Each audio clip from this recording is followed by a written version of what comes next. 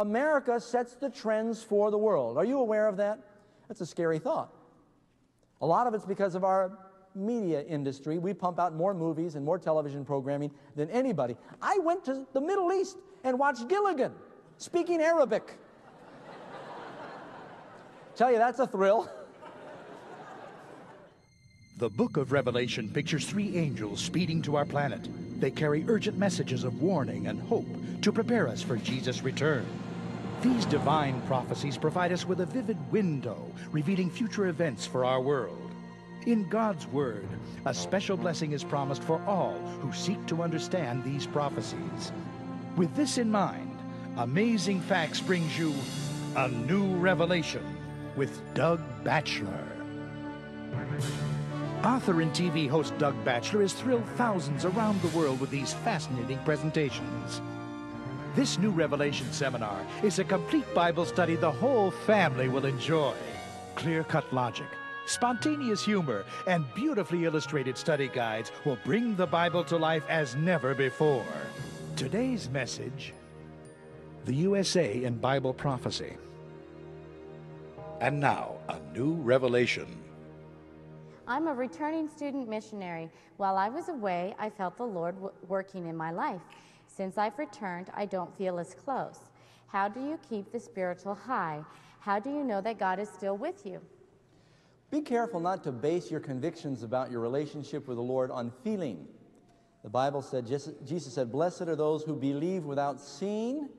I think that you can also rephrase that very accurately, very biblically, to say, Blessed are those who believe without feeling. Faith and feeling are two distinct, separate things. We know that God is close to us when we invite Him, and He says, I am with you always, whether you feel it or see it. The devil can make you feel things. But as your faith strengthens, sometimes you will have periods of emotional ecstasy. You're not to seek those. You're to seek that you are in harmony with God, and then God in His Spirit will give you peace. Uh, do the things that gave you the experience the first time reading God's Word, sharing your faith. Um, you know, there was a, a, a gentleman who was a big influence in my life. He was a Jewish Christian.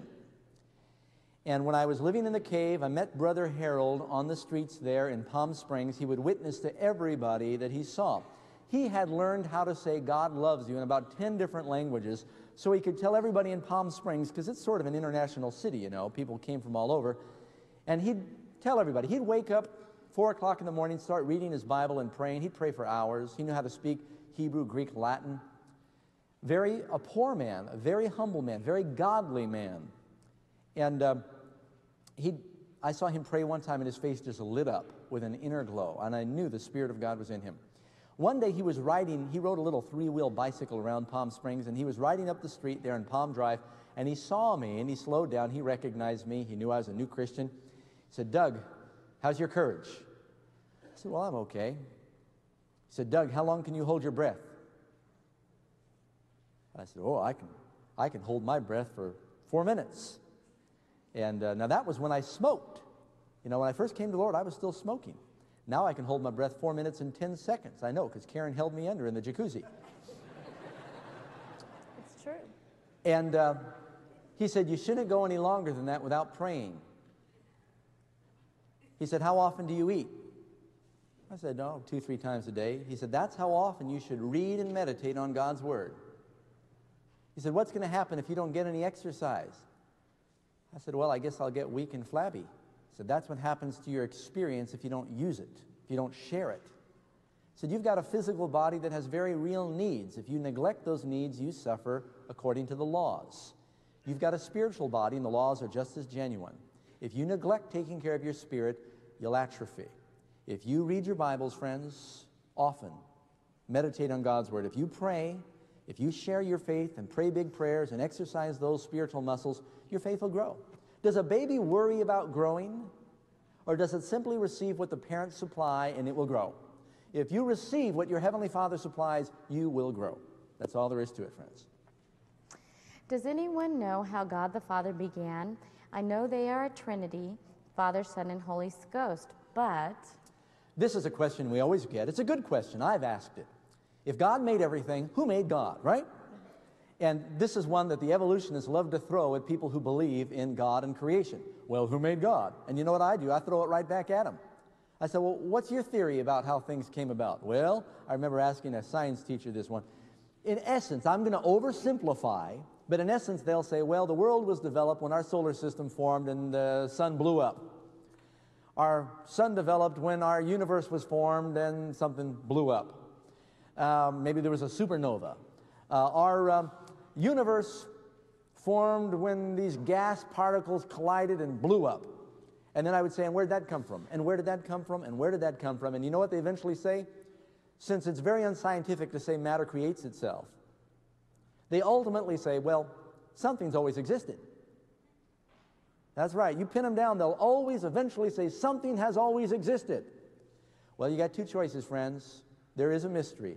You can believe that we've all come as a result of gas particles that collided and blew up, or an intelligent God that's always existed. I'd like to believe that the intelligent design we see in the universe is not the result of explosions. Say amen. amen. Just checking, doing a sound check. Okay.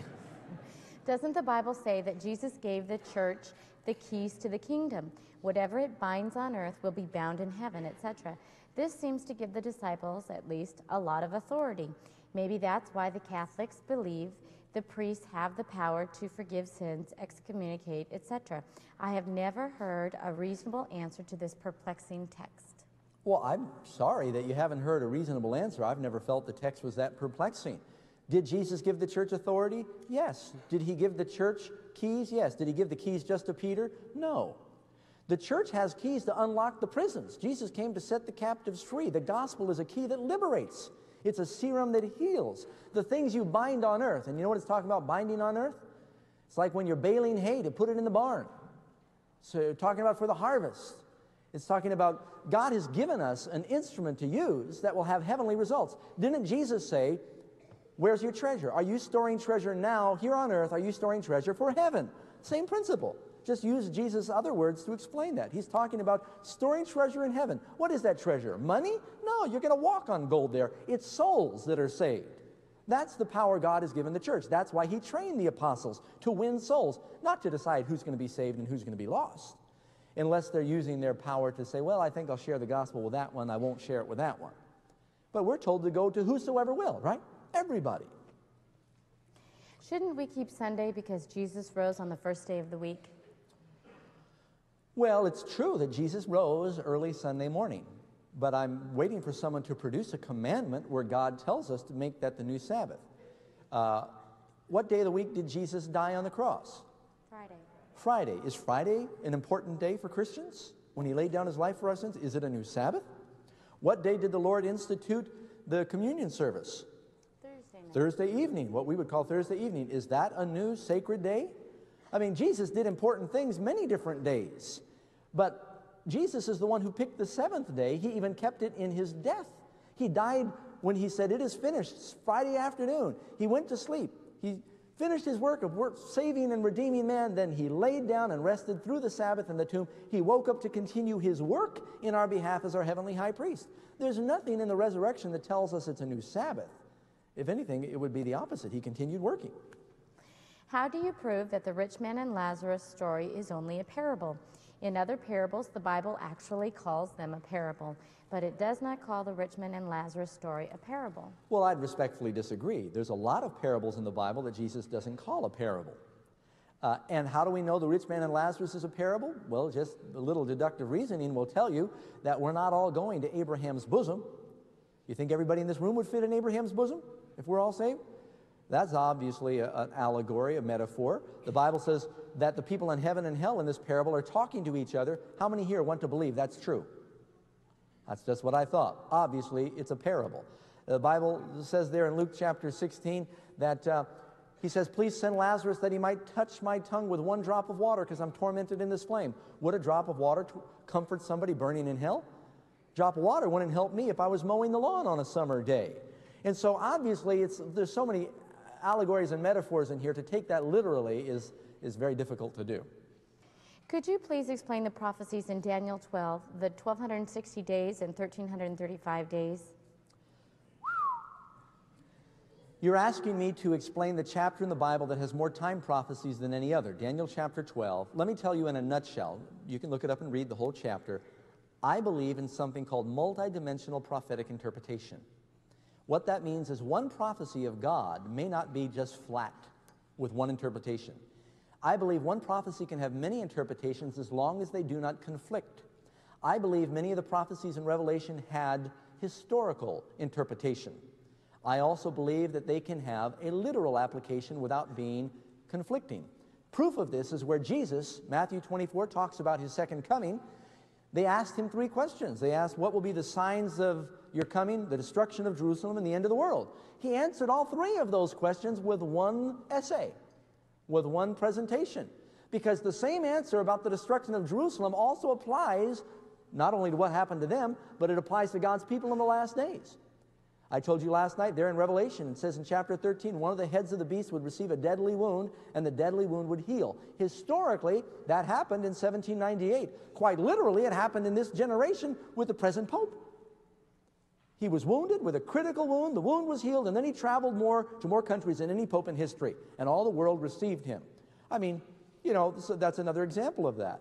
Daniel 12, I believe, not only has a historical application, but there may be a literal application because Daniel 12 begins with Michael standing up, time of trouble, resurrection. Last thing it says in the last verse of Daniel is, You will rest in your lot till the end of the days.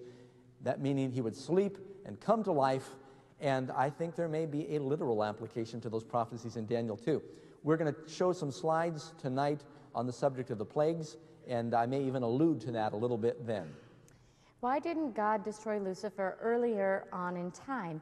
Would it not be better if Lucifer was destroyed before he deceived more people? Uh, the Lord needed to allow him to completely develop what his government would be so that sin would never rise up again the second time. Uh, in love, he had to allow Lucifer to demonstrate what selfishness leads to. Our planet is going to self destruct when Jesus comes. And it's because of Lucifer's government, it's because of selfishness. If God had destroyed Lucifer too soon, the other creatures in the universe would have had doubts about God's justice and maybe would have started believing Lucifer's claims. What is meant by pagan Rome and papal Rome? What is the difference? Well, you hear me refer to pagan Rome. Pagan Rome was the Roman Empire ruled by people like Julius Caesar, Augustus Caesar, Tiberius Caesar, Justinian, the Caesars, Roman soldiers. Papal Rome is when pagan Rome, ruled by Caesars, began to deteriorate. Rome started losing its power, divided into 10 kingdoms. But the Holy Roman Empire had control of those 10 kingdoms. That was Papal Rome. Does the Bible say once saved, always saved? Well, no, you don't find the statement once saved, always saved in the Bible. And I would have to respectfully submit, I don't think you find the teaching that once a person is saved, they can't be lost in the Bible either. I believe the Bible has a number of examples of people who were saved, filled with the Spirit, and then, for whatever reason, turned away from the Lord and were lost. You know, we always think about Judas, the scoundrel he was, but keep in mind, Jesus said, Have I not chosen the 12 of you? And one of you is a devil. He knew what Judas would develop into, but didn't Jesus send out the 12? And the 12 came back and reported that even the devils were subject unto them. Judas had a good side that was stirred by the Holy Spirit at times. Judas went out preaching about Jesus. Judas went out working miracles. But he began to grieve away the Holy Spirit. What about Balaam the prophet? Wasn't he a prophet of God at one point? But then he grieved away the Holy Spirit and he died a lost man. What about Saul? Saul was a king anointed and filled with the Holy Spirit by God, but he began to be impressed with himself, proud. He grieved away the Holy Spirit and he took his own life, just like Judas took his own life. Um, the Bible says there in Revelation, speaking about the messages to the seven churches, counsel is, if you do not repent, I'll remove your candlestick out of its place, speaking to Christians in churches. Now, I'll tell you why once saved, always saved is a dangerous doctrine. Some sincere people believe once you come to the Lord, you know, you fall on your knees, you say a certain prayer, you're saved, you can't be lost no matter what you do. Oh, I think the devil loves that. Of course you can be lost. What that teaches is that God takes away your choice. Now, the reason the doctrine once saved, always saved developed is people don't want to think, I'm saved today, I'm lost tomorrow, I'm saved the next day, I'm lost the next day. Roller coaster experience, up and down. How many of you get tired of that? Wondering, am I saved? Will I be lost? I don't worry about that. I have an assurance that God is going to finish what He started in my life. It's based upon faith and love. Now, when Karen and I got married, we made some decisions and took some very restrictive vows. And sometimes I'm out of town or she's away. I'm free to break those vows. I don't worry about doing it, and I don't worry about her doing it based on mutual love and faith. We have assurance based on mutual love and faith. You can have that in your relationship with the Lord. See what I'm saying? And so that's what it is. But the idea that once you're saved, you can't be lost takes away your free choice. Of course you can. Read what Peter says about the pig that was washed that returns to wallowing in the mire. There's just a number of statements. Do you know God saved Sodom and Gomorrah before he destroyed them? That's right. Lot and all of Sodom and Gomorrah were carried away by Chedorlaomer and the kings of the north, and Abraham delivered them. He saved them. But then they persisted in sin, and God destroyed them. The angels were once saved, and then they were cast into darkness and everlasting chains. God saved the children of Israel from Egypt, but a lot of them stopped believing. They died in the wilderness, right? The Bible's full of examples of this. It's not a biblical teaching. Okay. And, go ahead. Does the Pope know that he's the Antichrist? He I should be an intelligent man. I'm sure he is. I, I- he speaks seven languages. He's probably very intelligent. I'd like to think that he doesn't see himself in that light. Uh, as I said before, we're not talking about the individual. Nebuchadnezzar was the leader of Babylon, which is a beast in prophecy that persecuted God's people, and he'll be in, ki- in the kingdom. I hope everyone here is clear. I'm not judging the individual. I have no idea what his relationship with the Lord is. Uh, from what I see on the outside, he seems to be a very pious man. You want the last question? Yeah, I think we're running out of time. How do we know that the 1,000 years of the millennium are a thousand literal years? Why don't we use the same year day principle for interpreting this time period as we do for all the others? Good question. Let's suppose that a day does equal a year. If we're going to spend 360,000 years in heaven with God, that's okay with me. But the reason we believe it's a literal thousand years, the millennium begins when eternity begins. It begins with the coming of Jesus. You do not any longer need that prophetic principle of a day for a year. Also, when the millennium begins, it's after the angel says, Time shall be no more, speaking of prophetic time. And so, for that and some other reasons, we believe it is a literal 1,000 years. Glad to see so many of you coming back night after night. You know, you've been very dedicated in your studies, and uh, we have a lesson tonight. You're going to hear some things and maybe see some things you've not seen before. The USA, our beloved country, in Bible prophecy.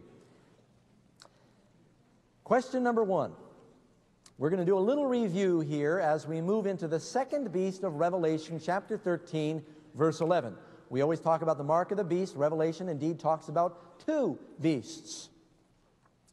Two world powers are symbolized in Revelation 13. What is the first power? What did we discover? The first power is this beast with seven heads and ten horns. It's none other than the Roman papacy, or the, the Roman Catholic Church is the first beast in Revelation chapter 13. Certainly an international power that had a tremendous amount of influence all through the Dark Ages from 538 to 1798. They held an almost uh, absolute sway over the former Roman Empire. But they received a deadly wound. And what did they get wounded with? You know, it says they received a deadly wound with a sword. What's the sword? Hebrews chapter 4 tells us the word of God is quick and powerful and sharper than any two edged sword. You know what caused the great wound? It wasn't so much Napoleon as it was the Reformation. Many, many people began to flock out of the church during the Reformation because the Bible was placed back in the hands of the people. You know, it's very interesting. One of the first times the Bible was printed in the language of the people was Martin Luther's German Bible, and it so happened to be also the very first book printed on a modern printing press. It's almost as though God allowed Gutenberg to develop this printing press for the purpose of circulating the Word of God throughout the world. Up until then, they had to handwrite the Bibles. Number two, in what year was the papacy predicted to lose its world influence and power? Well, we read there, power was given unto him to continue 40 and two months. The starting point for their existence was when they received an army, and the Bible says in, Re- in Daniel 7, the little horn plucks up three horns. That all happened in 538. The Pope was given an army by Justinian. He began to battle against the Arians, the Heruli, Ostrogoths, and Vandals to root them out of the kingdom. And this is exactly what happened during that period of time. Number three, which nation is predicted to arise around the same time the papacy was receiving a deadly wound? Now, what time did the papacy receive a deadly wound? 1798. What world power was coming into priority and visibility during that time? You tell me. No question about it, the United States. Now keep in mind, people say, now wait, Doug, the United States was 1776? No, the Declaration was 1776. England did not recognize us as being independent then. We were just kind of flexing our muscles and rattling our swords and saying, we want to be independent. Then we had to fight a war. And it wasn't until 1798 that the other nations of the world said, you know, it seems like those rebels in North America had finally broken away from the mother in England and they were an independent country to be dealt with. Up until that time, they still tried to look to England to find out how to deal with America because they thought, what if America loses the war? But it wasn't until 1798 that the United States was really recognized by the other nations of the world as an independent entity to be dealt with. Benjamin Franklin was one of the first ambassadors that began to go overseas. He was also a genius in his own right. You know, he spoke seven languages. Brilliant man. Had a great influence on our government. One of my heroes. This other beast rises up out of the earth, two horns like a lamb, but speaks like a dragon. Now, what, what is a lamb a symbol of in Revelation? Behold, the Lamb of God that takes away the sin of the world. What's a lamb a symbol of? Jesus. What's a dragon a symbol of? Well, we read there in Revelation chapter 12 that the dragon is the Roman Empire being pushed by that old serpent, the devil, and Satan. Okay? Now, here, this country is going to have characteristics of a lamb and the Roman dragon. You notice it says two horns like a lamb, the lamb first. Keep in mind when you're reading prophecy, some people think because you read it in one second, that's how long it takes to happen. When you're reading prophecy, God sees in a timeline of hundreds of years. Sometimes in one or two verses, God will cover a thousand years. And you've got to just look at the context there. What is the significance of the beast coming up out of the earth? You notice where did the other beast come up out of in Daniel chapter 7 and Revelation chapter 13? Came up out of what? The sea, out of the water.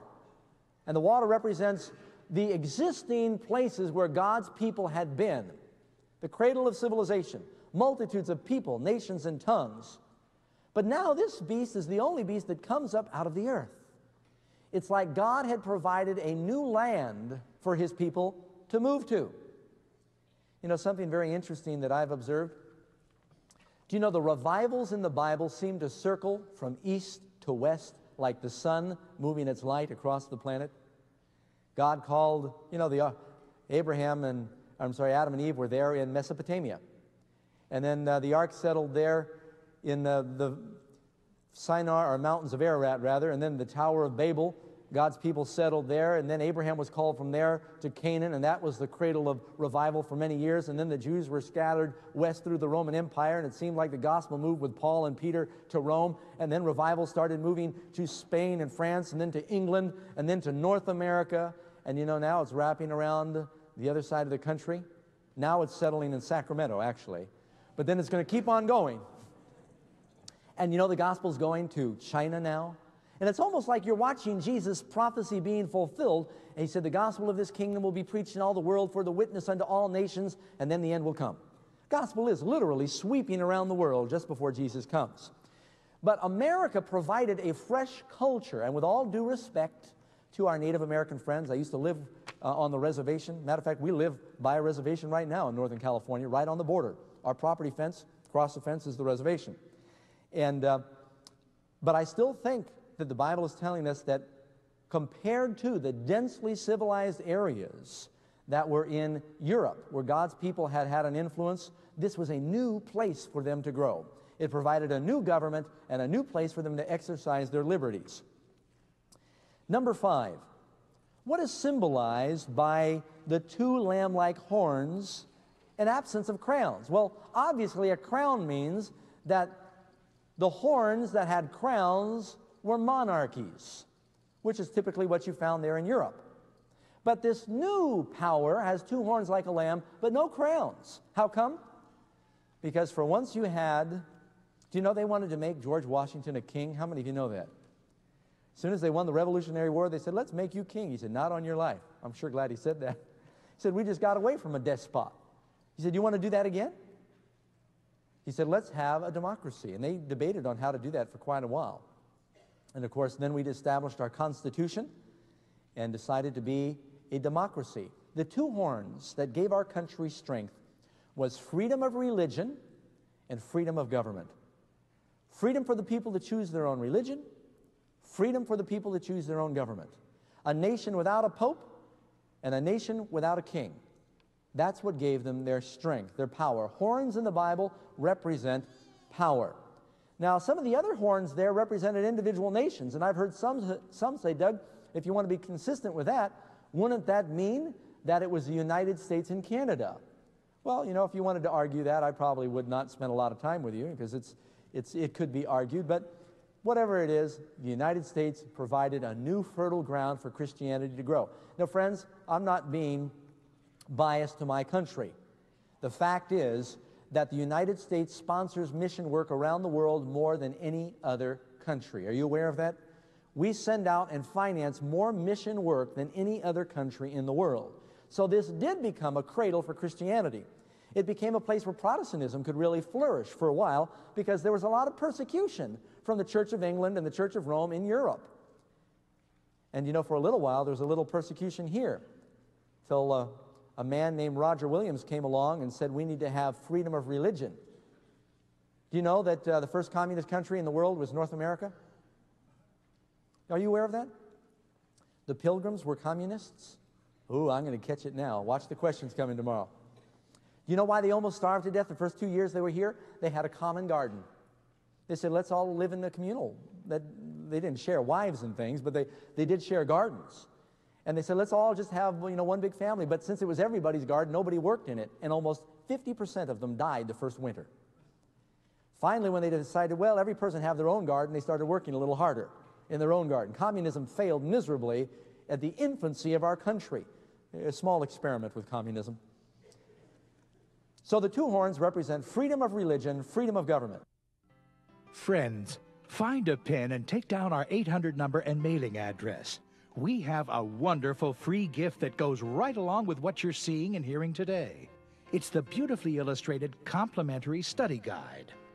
Our operators are standing by for your call at 800 835 6906. Make certain you give the title of today's study when you phone. And by all means, write us at Amazing Facts, P.O. Box 909, Roseville, California 95678. Look for this address again at the end of today's telecast. All for good in the U.S., Canada, and U.S. territories. Friends, I hope you're learning new things from today's study. If you are, I'd like very much to hear from you. I treasure each one of your cards, your letters, your words of encouragement, your comments, and especially your prayer requests. Our office staff at Amazing Facts gathers every day to pray over each one of them. If you'd like to know more about how to obtain this video series, you can call us or write the address is Amazing Facts, P.O. Box 909, Roseville, California 95678. And our toll free number is 1 800 835 6906. Why don't you give us a call or write us a letter? God bless you, and I thank you in advance. Number six, what does it mean when the prophecy in Revelation 13 11 says, America will speak as a dragon? Well, it's talking about speaking like the dragon speaks earlier in the same chapter. Now, think about something, friends. Can you see Roman influence in North America? How many of you have been to Washington, D.C.? Anyone here been to our nation's capital? I've been there several times. Do they use early Inca American architecture? Is it Aztec? Is it Chinese? What architecture do you see all over Washington? Roman architecture. What kind of government have we emulated? You know where the word Senate comes from?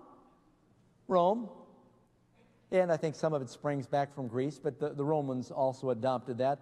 So much of our government, so much of our educational system, our time. You know where the idea of measuring days from midnight came from? In the Bible, when did they start and end a day? Sundown. The Romans are the ones who said, we're going to figure the middle of the night, and that would be the beginning of a new day. You know where our calendar comes from? From Rome. July is named after Julius Caesar. Now, you know why there's a month called August? Named after Augustus Caesar. You know why February is so short? Because Augustus Caesar was offended that Julius Caesar had a month with 31 days, and he only had a month with either 29 or 30 days, I forget. And so he took days off of February and added it to August. The Romans really fooled with the calendar quite a bit. And so that's where we get our, our calendar. Do you know why Christmas is celebrated on the um, 25th, of, 25th of December? Is everyone here aware that Jesus was not born the 25th of December? Now, don't be concerned that Pastor Doug is going to steal your Christmas right now. That's not my objective. I just want you to be intelligent about that, okay? If you're going to do something, at least know what you're doing. I hope you're not telling your children about Santa Claus and the elves. Amen? But the Bible tells us that Christ ministered three and a half years. We know that he began his ministry at his baptism. We don't know, and the Bible says his baptism was about his 30th birthday. He was like a high priest, could not minister until his 30th birthday. When Jesus had his 30th birthday, he went down to the Jordan. He got baptized, started his ministry. We know when he died. He died in the spring during Passover. Isn't that right? Subtract three and a half years or even six months of work, and you know that he was born in the fall. Bible says that the shepherds were out in the field watching their flocks, right? I've been to Palestine. You're not out in the field December 25th with your flocks. And there's a number of other, you can do a little detective work and you can know. Well, you know why we picked that? Is because when there was a merging of paganism and Christianity in Rome, trying to reach more of the pagans, they said, well, we don't know exactly when Jesus was born. They had a festival. It was a special day of the sun, the, the winter solstice, when the days got the shortest. You know, most Roman worship, matter of fact, most pagan worship revolves around sun worship. The Inca Indians, Babylonians, Romans, uh, the Egyptians all worship the sun. And you can understand because so much of the power and life in the world comes from the sun. Well, the sun kept getting lower and lower on the horizon, the days kept getting shorter, and finally, around the 25th of December was the first day they noticed that the days were getting longer. The winter solstice is about the 21st. The days stay the same for 22nd, 23rd, 24th. You notice them visibly getting longer. The 25th, it was a big celebration. They would have evergreen trees because they never lost their leaves, a sign of eternal life. They danced around the trees and they give each other gifts. They said, let's call this the birthday of Jesus. And that's how a lot of these things came into Christmas that were really nowhere in the Bible. It came from Roman culture. And so you'd be amazed how much Roman culture has influenced North America. But you know what's going to happen? America is going to make laws forcing people how they should worship and believe, just like it happened during the Dark Ages. And you're thinking, oh, Doug, that would never happen. You've not been listening. You've not been watching what's going on. Have you noticed how much influence religion is now having in politics lately? We're moving rapidly towards a government that is going to be manipulated by religious interests. And I think it's going to get much worse than anyone can imagine because there's some factors that we don't know about. I think a financial travesty could really cause an upheaval in our country. Incidentally, you know how Napoleon came into power in France? On the heels of an economic disaster. Do you know how Adolf Hitler came into power in Germany? On the heels of economic disaster. Almost all totalitarian dictatorships have come into power on the heels of economic disaster. The stock market has been zooming. Economists are shuddering. They say, hey, it's great, we're making money, but it's not going to last. There's going to be a major correction, and it could bring us back to the time of the Great Depression or worse. Economists are saying that you got two trains on the same track heading towards each other. The question is not will they collide, but when. Some of you have read the book or heard of the book by uh, Larry Burkett, financial author, who said it's called, I believe, Coming Economic Crisis or Earthquake. What's it called? Economic Earthquake is coming. And he also, and a number of others, recognize this thing, these things that are, that are coming. And so, if there's a great financial disaster, you know what people do when they're afraid? You know how much church attendance goes up when people are afraid? And I think there could be a fear factor. Natural disasters, plagues the Bible talks about. I'm not even speaking of the seven last plagues. People go flocking to the churches, and then when the religious leaders say, This is what you want to do, God is punishing us because we don't go to church, we're going to make a law that everyone goes to church, it'll save our families, deliver us from crime, and everyone's going to say, Yes, hallelujah, amen. And if you stand up and say, No, wait a second, this isn't right, you're going to look like the oddball, and you're going to be persecuted. When everyone else is bowing down to the golden image, if you stand up, you're going to be a party pooper and you're not going to be popular, even if you're standing with the Lord. These things are coming, friends. What specifically will America do that causes it to speak as a dragon? How does a government speak? A government speaks with its legislation, with its laws. America, believe it or not, it's prophesied is going to speak like the dragon. It's going to make an image to the beast. Now, what's an image?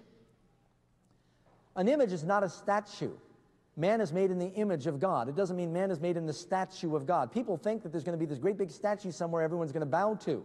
Your children are your image. When you look in a mirror, you see your image. It's a reflection, it's a likeness. Well, friends, in the last days, the United States is going to make a government. They're going to make laws, rather, that will resemble, that will imitate, that will be an image of laws that were in existence during the Dark Ages, telling people how and who to worship how, who, and when to worship. And it's going to be very, very difficult for those who want to put God first in their lives. I guarantee these things are going to happen. Indeed, they're happening right now. Let me tell you what I believe is going to happen. I believe because of fear, Protestants, charismatics, sometimes called evangelicals, Protestants and charismatics, and Catholics in North America. And again, I'm not slandering. I am technically a Protestant. You understand what I'm saying? I'm just telling you what I think the facts are. Protestants, charismatics, and Catholics are going to unite on the points they hold in common and push the governments of North America to make laws on the points they hold in common to try and save society. How many of you have heard rumblings of this already in the news and in the magazines? I saw a Newsweek magazine recently uh, dealing with can the church save America? And this is the emphasis of people like Jerry Falwell and Ralph Reed and, and uh, D. James Kennedy and uh, so many other uh, great religious figureheads in North America. That we can't depend on the government, the churches have to do it. And in order for the churches to do it, we need to set aside our doctrinal differences, unite on the points that we hold in common, and then force, by virtue of the American democratic process, the government to enact laws that will save society. You know, I understand there have been Sunday laws presented to recent presidents in the last three or four administrations, and they haven't signed them yet, urging, there are already Sunday laws in the books. Why do you think that some of these stores are closed on Sunday and can't sell certain things on Sunday? They call them blue laws. How come they haven't gotten rid of that yet with all the separation of church and state? They're not going to get rid of them, friends. What they're going to end up doing is enacting more and activating the ones that exist. I'd like to read a quote to you from a book called Great Controversy that was written about over 100 years ago. It was a prophecy, in my opinion. Protestants of the United States will be foremost in stretching their hands across the gulf to grasp the hand of spiritualism. They will reach over the abyss to clasp the hands with the Roman power and under the influence of this threefold union, the country will follow in the steps of Rome in trampling the rights of conscience. Same thing that happened with Rome in the Dark Ages, going to force people and tell people how to believe. Now, the spiritualism that the author here refers to is what I would call the charismatic movement. Spiritualism is an emphasis in the spirit. Do you realize that a few years ago, the phenomenon of speaking in tongues and the charismatic worship styles that are so popular now, they were called holy rollers. Any of you remember those days? They were thought of fringe Christians. Mainline Protestants wouldn't get anywhere near them. They sometimes would look through the window at their services and say, Wow, look at that. They're rolling on the floor. That's why they call them holy rollers. Slain in the Spirit. Now, keep in mind, friends, I first, when I became a Christian, attended these churches. And so I have a lot of regard and respect, a lot of loving people in all different fellowships. Amen? But most mainline Protestants would not have anything to do with it. Well, now the charismatic movement and the phenomenon of, speaking in tongues, what I think in many cases an uh, unbiblical technique of speaking in tongues, has swept the Protestant churches so that now Methodists, Presbyterians, Episcopals, Catholics, Baptists, Lutherans have either entirely or in part or fractions of those churches accepted this. Well, I just read here Protestants would be foremost in stretching their hands across the abyss. That's what happened. Then they would clasp the hands of Rome, and under the threefold union, they would follow in the footsteps. Now, here are two books that you can get on the bookshelf right now. These are not old books like some I've quoted from. This is a book by a gentleman named Charles Colson. I had the privilege of meeting him, a fine Christian man. And it's called Evangelicals and Catholics Towards a Common Mission Together. And the theme of this book is that if we're going to save our culture, we need to lay aside our differences, unite on the points we hold in common, and work together. And I, you know, I agree with many of the things they embrace. I think what's happening with abortion is a travesty, in my opinion. I think that, I don't know if I deal with it the way some do. Don't misunderstand. I'm not a militant like that. But I also think that the crime, the pornography, pornography, primetime television, I mean, you know, the society's become very decadent, a lot of perversion. Uh, there's a lot of uh, very sick things that are clamoring for rights, and they call it art in our culture. And I embrace many of the same things that they're talking about. But you know what? When a pendulum swings, it never stops in the middle. It usually keeps on swinging a little too far the other way. And in their attempt of uniting, and I think they're going to succeed, in their attempt to unite for the purpose of saving our government, Catholics and Protestants, I think they're going to say, hey, this is wonderful, and they're going to take it a few steps too far and get to the place where they start telling us how, when, and who to worship. One of the things they almost all hold in common is Sunday worship. Another book, Keith Fournier. He's a good friend of Pat Robertson. Matter of fact, Pat Robertson did the forward here. It's called A House United Evangelicals and Catholics Together, a winning alliance for the 21st century. Uh, a number of interesting quotes in here. I don't have time to read it all to you, or we will not get through. Oh, no, we're not going to get through the lesson. I got 11 minutes left.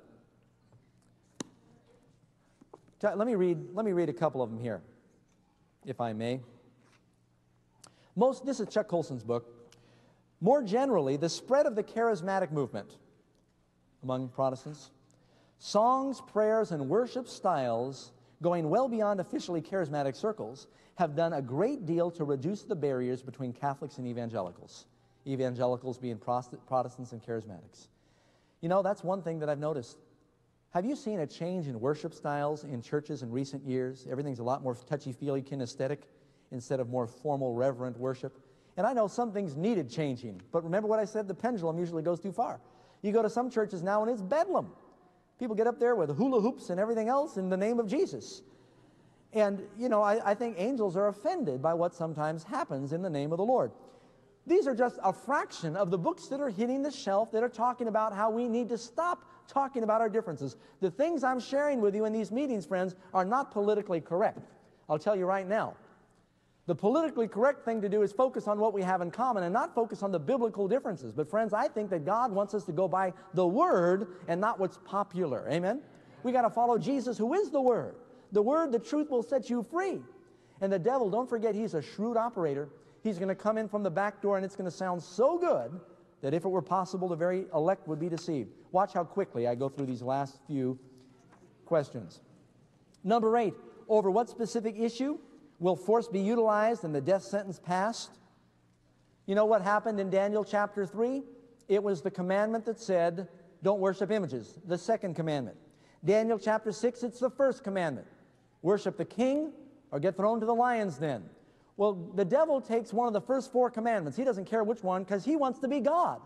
The commandments that deal with our relationship between worshiping God are the ones that bother him. And the Sabbath, the devil hates it because the Sabbath is a memorial that God is the creator and the devil can't create anything. And he wants us to honor him on his day, the day that light was made. And he's called the angel of light. And so he's trying to get people to substitute the first day for the seventh day, which is the one that God picked. Number nine, could a government really control buying and selling? You know what, friends? One of the things we're seeing that America is prominent in doing is called economic sanctions. They could not buy or sell unless they cooperate. How is America going to force that? America is the number one supplier for products in the world. Almost everywhere in the world you go now, they, uh, they speak. Man, I got so many of these things in here, I don't know which one to pull out. Credit cards are not the mark of the beast unless you don't know how to control them. See that little magnetic strip on the back there? They're developing cards now. Matter of fact, they've got them out, and they're called super cards, and they have different names for them. And we're moving towards a cashless society. There's a lot of good reasons for doing it. For one thing, it's hard to mug somebody if all they've got is plastic and you've got your PIN number, it's going to be hard for people to steal your money. The government likes it because your transactions are all registered and it's easy to tax you. It knows how much you've really made. The supercards now, you just slide this through a magnetic reader. They're using these to monitor your attendance at work. You know, I used to punch a clock, slide your card through now. Uh, they're using these things to buy your products at the store. Do you have those in Michigan? Yeah, we got them all over California. You buy your gas, you buy your fast food in California with a credit card if you want. Your gas, your supermarket, your fast food, um, of course, super uh, um, department stores, everything. Now they've got one with a driver's license in California and a magnetic strip. It's got your whole driving record on it. They're developing a super card that will have your financial information, your work information, your driving information.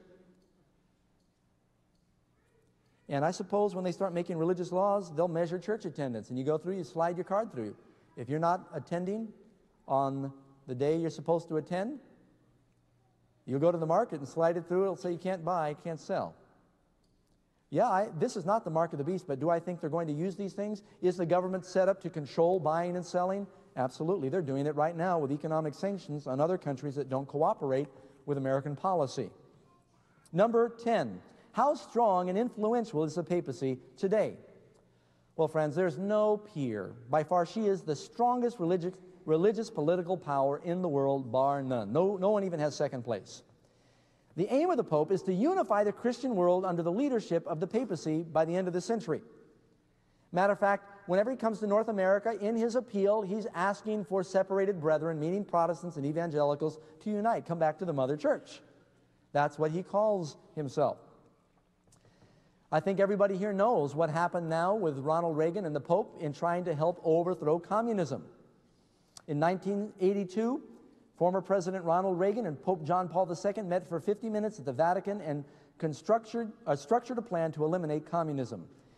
This is found in the article called The Holy Alliance by Time magazine. Gorbachev, Mikhail Gorbachev said everything that took place in Eastern Europe in recent years would have been impossible without the Pope's efforts and enormous role, including the political role which he played in the world's arena. Question number 11 How strong and influential is the United States today? With the fall of communism, Russia, of course, is broken and splintered, so they don't have the military might they had by, by far. They know that they're out of the ring right now. China is using very old and outdated equipment. After the Gulf War, the whole world kind of looks to America as the policeman for the planet. And we're going everywhere because our weapons and our warfare was so impressive and sophisticated. Everybody saw our little video games we used to blow people up. And it just seemed like it was, there was no battle left anymore. Very, I don't think there's any hand to hand combat anymore. It was also technical. Not only is America powerful as far as military might, the economy of North America drives the world. And again, I'm not being biased, these are the facts. Do you know that the economy of California is the 16th largest in the world? Just California, not even counting all of North America. No matter where you go in North America, no, I'm sorry, no matter where you go in the world now, they drink Coke and Pepsi. They fight for Levi's. You can get a Big Mac almost anywhere in the world right now. You can go to the jungles and get a Big Mac now. McDonald's is almost everywhere, and Kentucky Fried Chicken. And they listen to Michael Jackson. You go to Japan and they're going, Michael Jackson, and they don't even know what he's saying. It's the American superstars or the superstars everywhere now. America sets the trends for the world. Are you aware of that? That's a scary thought. A lot of it's because of our media industry. We pump out more movies and more television programming than anybody. I went to the Middle East and watched Gilligan speaking Arabic. Tell you, that's a thrill. Number 12. Is it clear that the influence and power of both the United States and the papacy are escalating with rapidity? What other factors could possibly set the stage for a worldwide law to execute those who refuse to violate conscience? Friends, in one word, fear. Economic disaster, natural disaster, medical disaster, plagues. People are going to turn to God out of fear. You know, when the stock market crashed a few years ago, uh, the, I think it was an 87 temporary crash, Someone said two things drive Wall Street fear and greed. And you know, that's what drives most people. And those things could be a big factor that we don't see right now that are going to drive people to churches. Who knows? Maybe we'll discover Noah's Ark and people will run to church because, hey, if Noah's Ark is true, you can believe the Bible, right? Anything could happen. Things we don't know, but I think it's going to happen quickly, friends, very quickly. Oh, I'm out of time, and I want to, I want to say so much. If you went to the children of Israel two weeks, oh, let's say you went to them a month before they were crossing the Red Sea, and you said, You're going to be free in a month, they would have laughed. They would have said, No, we're going to have to form a political party, start lobbying against the Pharaoh, see if we can get him to enact laws, see if we can get some rights, raise our salaries, and become. It could never happen that fast. We've been here for hundreds of years, we've been slaves here. How could it happen in a few weeks? Sometimes we forget the God factor. God can accelerate things, can't He? And I think, friends, when the ball begins to roll, it's going to build up momentum, and we're going to be very surprised how quickly the end is going to come. 13. As world conditions worsen, what will Satan do to deceive the masses? I think as the mas- masterpiece masquerade, he is going to seek to impersonate Jesus. Number 14. While interest in the counterfeit revival heightens, what will be happening to genuine worldwide revival sponsored by God's end time people? Well, you know what? The Bible tells us where sin abounds in Romans chapter 5 verse 20, there doth grace much more abound. And though the devil's going to intensify his spiritual efforts in a counterfeit revival, the genuine thing is going to hit God's people, and I'd like to think some of it's happening right here now. That God's Spirit and His Word is going to go forth and change people's lives because they're going to know what the truth is and get stirred up. How many of you have sensed God's Spirit working in your lives through this week, this month that we've been meeting together? Number 15, in desperation, the U.S. led coalition will next decide to impose a death sentence on its enemies. What does Revelation 13, 13 and 14 say its leaders will do to convince people that God is with them?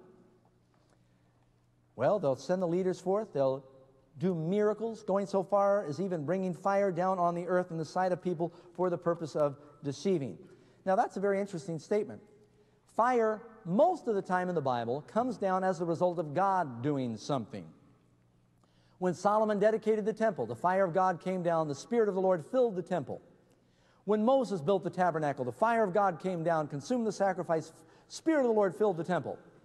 Elijah prayed three separate times and fire came down as a result of his prayer. The Bible tells us on Pentecost, fire came down, a mighty rushing wind, tongues of fire on the heads of the disciples filled with the Spirit. But you know, there's a time in the Bible that the devil brought fire down too.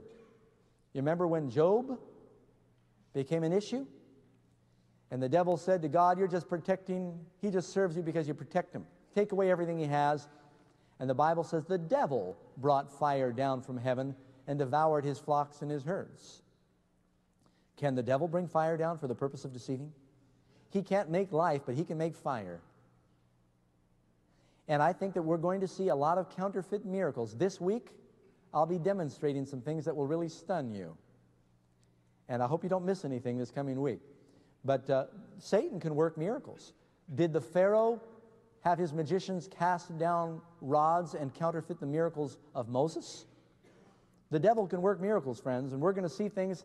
That's why, oh, I'm pleading with you. Do not make your decisions based on what you see. The devil can make you see things. Do not make your decisions based on how you feel. The devil can make you feel things. Veggie Burger can make you feel things. Make your decisions based upon what does the Word of God say. Amen? What does the Bible say? That's the only foundation Jesus said we should build on. These words of mine. That's the rock that does not roll, friends. That's the only thing that we're safe building on. Number 16. How can we be safe from powerful end time deceptions? Well, I gave you the answer. Test everything by the Word of God. Isaiah chapter 8, verse 20 tells us according to the law and the testimony, the Word of God, the commandments of God, the law and the prophets, if they speak not according to this word, there is no light in them. You know, I shared some of the Sabbath truth with a charismatic friend of mine. He said, Doug, I know if we go by the Bible, that sounds very convincing, but we have a new spirit. We're not under the law now, we're under the Spirit, and the Spirit is telling me this Sunday's the Sabbath. And so that minister told his congregation not to trust the Bible because it's the old dead letter. Go by the Spirit. Well, you know what? He probably is going by a spirit. But it's, I question what spirit is. Will the Spirit of God ever tell you something contrary to the Word of God? Or did Jesus say when the Holy Spirit comes, He will bring to your remembrance the things that I have said? Where do we find what Jesus said? In His Word. That's where we need to go for our answers, friends. That's the only safe place. If you know that the Word of God is trustworthy, then that's what you need to use to base your conclusions. And God's Word is going to give us the answers we need because you're going to be challenged to defend your faith. And the promise of Jesus is the Holy Spirit will be given you in that hour the very thing you need to say. Some of you are going to be brought before kings and rulers of the world to defend your faith. And even now, Peter tells us we need to be ready to give an answer to anyone who asks why we believe what we believe with meekness and fear. That's a paraphrase. Are you willing to worship and obey Jesus even if it means ridicule, ridicule, persecution, and finally the death sentence? You might be thinking, oh, Doug, I don't know how I can do that. You know, if you're following Jesus day by day, He'll give you grace when the time comes. I don't know if I could do it right now, but I don't have to right now, praise God. But when the day comes, I'm hoping sufficient unto the day, God's power will be there. Amen? And I'm trusting it's your decision to do the same. Friends, find a pen and take down our 800 number and mailing address. We have a wonderful free gift that goes right along with what you're seeing and hearing today. It's the beautifully illustrated complimentary study guide. Our operators are standing by for your call at 800 835 6906. Make certain you give the title of today's study when you phone. And by all means, write us at Amazing Facts, P.O. Box 909, Roseville, California 95678. Look for this address again at the end of today's telecast. All for good in the U.S., Canada, and U.S. territories. Friends, I hope you're learning new things from today's study. If you are, I'd like very much to hear from you. I treasure each one of your cards, your letters, your words of encouragement, your comments, and especially your prayer requests. Our office staff at Amazing Facts gathers every day to pray over each one of them.